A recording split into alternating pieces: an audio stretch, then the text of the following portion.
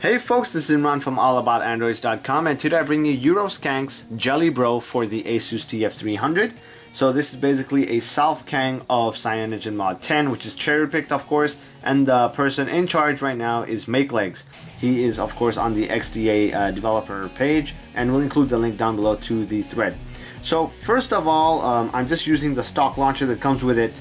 Um, I've tried with Nova, I've tried it with the stock Trebuchet launcher and I have to say that it is relatively smooth.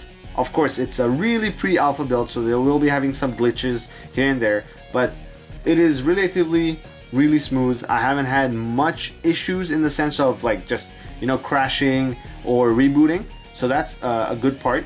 And it does include many of the CM9 features uh, that you, you, you may use. So let's just go take a look here in the settings.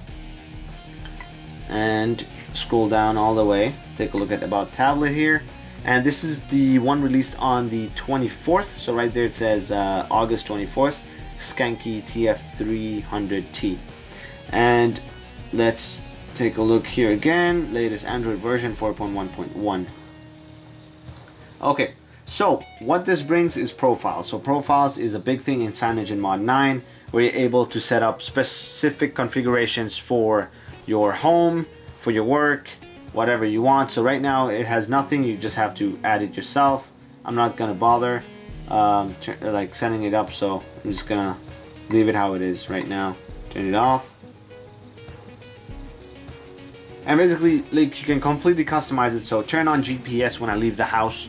That means when I switch to work mode, um, enable Wi-Fi or disable Wi-Fi if you want to save battery. Whatever you want to set up, it has the ability to set that up during the profiles.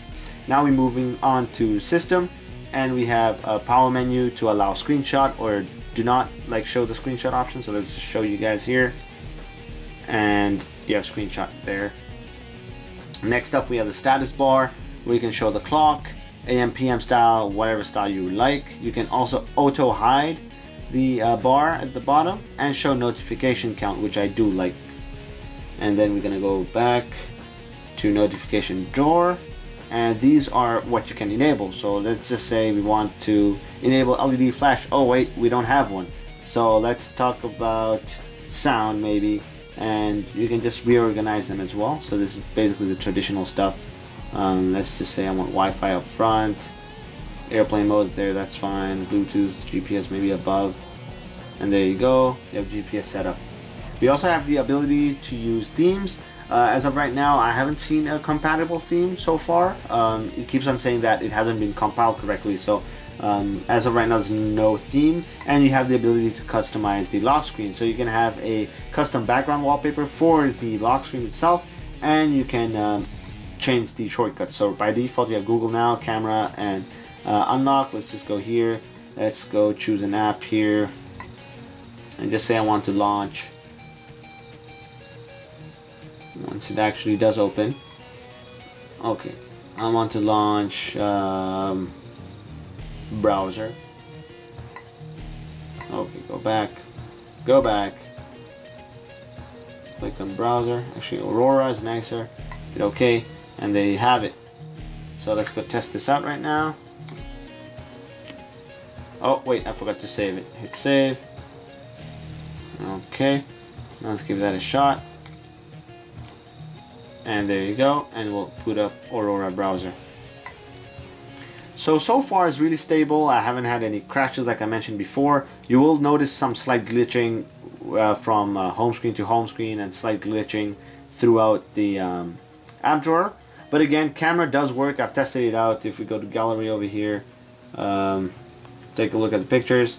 So this was when I had a um, stock ROM on uh, installed this is panorama mode in CM10. As you can see, not too bad. Uh, it actually does a good job there. And this is just normal um, picture taking from the, with this ROM installed. And I gotta say that the color is much better than uh, before. So stock was a bit washed out uh, right here. Same lighting, same everything. And you can see that the colors are more deeper. So the camera does function well for me. Uh, panorama mode works well. I haven't really tested out um, camcorder mode uh, I can definitely check that out and show you guys if it works. So let's test out Google now. Google,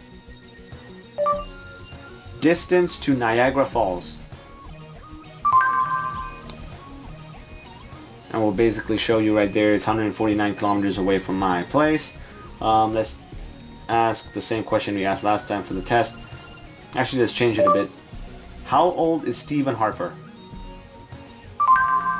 Stephen Harper is 53 years old. And there you go. And that's it for this uh, build of uh, Euroskanks uh, Jelly Bro. I have to say I'm pretty satisfied so far with its uh, capability. It works fine. I, have been using it as my daily driver for a while now. Uh, just basically for testing purposes and I have to say that it, it is good. Like once I've set up Nova Launcher it was able to be even smoother so let's actually just try that out right now. Um, and there you go. Wait, this is still, why is it not launching? Launcher. And there we have Nova Launcher. So as you can see, really smooth with Nova Launcher setup here. Slight glitching, but it's less than the stock uh, launcher and as well app drawer is a bit faster in terms of usage. And there you have it. I'll keep you guys updated with the latest builds that come with. Uh, right now, I haven't set Nova Launcher's default, so it just keeps on going back. But this is the one released on August 24th. Um, I hope you liked the video. Please do comment and subscribe. We really appreciate it. We also have a Facebook page, a Google Plus account, and a Twitter. Please add us there as well. Thanks.